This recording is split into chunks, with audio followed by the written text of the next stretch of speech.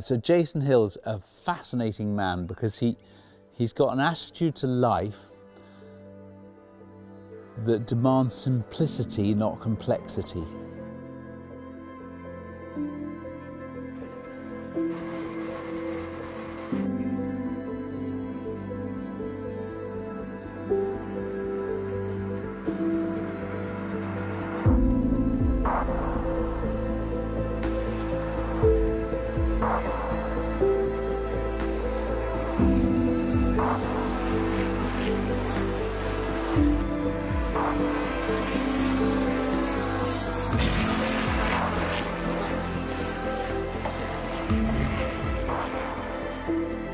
This is the DB3S, which is a very special car. Very, very special. It was it was a, it was 1955. It was um, three cars with the Kangaroo stable. Some Australians came over and they raced in the U, in the in across Europe, and this was one of those original cars and so it's all in its original spec and it drives beautifully. It's so balanced in the wet it's just beautiful. Then the old Healey but that's, I learned to drive and race in that. that then I'm sort of saving that for my son to teach him to race. Nice traditional old race car. And then the fast lady. They were railway engineers Bentley. So um, you can see here it's all railway kit. You can suddenly see the heritage of the railways I just find helicopters so much more, the, the helicopter world is very different. Big difference in aviation between helicopters and planes. Uh, yeah, this is very convenient, very simple. In, in the world of aviation, things are quite complicated. In the world of helicopters, and everyone thinks it's the opposite way around. They think helicopters are complicated and aeroplanes are simple. It takes an awful lot of work to achieve simplicity. And Jason is about simplicity. He gets it. He's broken everything down and he's coming at it from the other direction. So it's not just another helicopter, it's not the next helicopter that's coming along. That's not what he's doing. He's doing 2.0. He's gone back to basics and he's starting again. Why have helicopters and why has aviation got so complicated and so expensive? And he is trying to single handedly reverse that and create a helicopter for us passionate uh, enthusiasts who want to fly. So, my God, I, I just, he's my hero. So, this is um, due south. So, this is the story of um, the flight from the North Pole to the South Pole. So, uh, we took a Robinson 44, flew it up to the North Pole.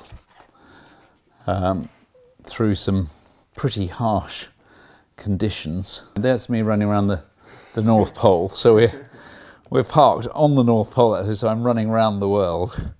And obviously quite happy about that. Yeah. We, we, we, had, a, we had a GPS and uh, we, we got it to 89.58, 89.59, 90.0000, the North Pole. 90 on air, 90.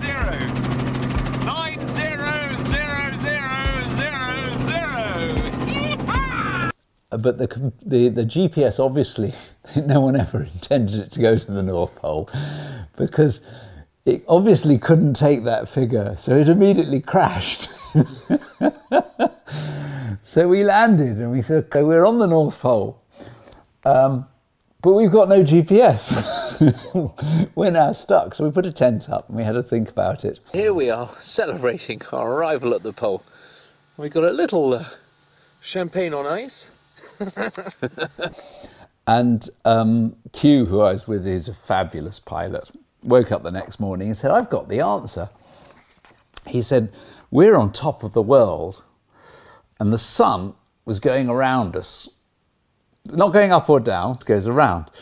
And so he said, If we point the if we imagine our clock was 24 hours, it takes 24 hours to go round, if we pointed the hour hand on a 24 hour clock at the sun, then 12 o'clock, that means London would be there. And we know that New York's five hours ahead of London, so five hours, so New York is there. And we know that LA is nine hours ahead, so LA is there. And so Tokyo, we know, is there. So on that basis, we took off and we navigated using a watch. And then we headed on down through um, through the Americas, through Central America.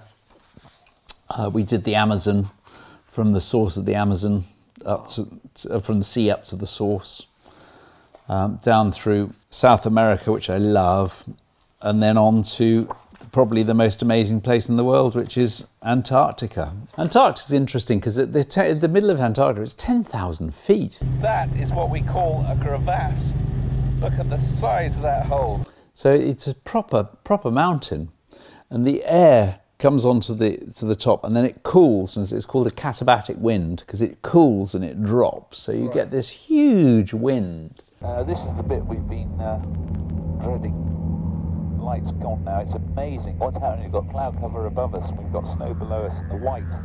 Everything's just gone white. It's just terrifying the contrast. We could be two feet above the ground, or we could be 200. Thousands and thousands of miles of nothing out there, no one there, no tracks. You're on your own, and uh, it's just very, very beautiful. Very beautiful. Well, first I, I, was driving across the Bering Straits when, when I saw that, and, the and and the helicopter landed and dropped some stuff off and took off and it flew away and I was like, my God, that is the way to travel. That's what I've got to do next. Nice Cheers, to see Sam. you. Thank you. I'll go this way. Cheers. See you on the weekend. Bye.